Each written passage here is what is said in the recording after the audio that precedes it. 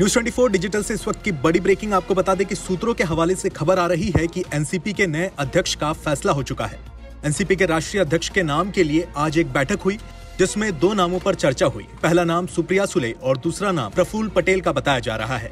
फ़िलहाल आज की बैठक में कोई फैसला तो नहीं हुआ है। लेकिन अगली बैठक में राष्ट्रीय अध्यक्ष के नाम पर, यानी सुप्रिया या प्रफुल के नाम पर मुहर लगाई जा सकती है। तो इस वक्त की बड़ी ब्रेकिंग आपको बता दें, सुप्रिया सुले या प्रफुल पटेल को एनसीपी का नया अध्यक्ष बनाया जा सकता है।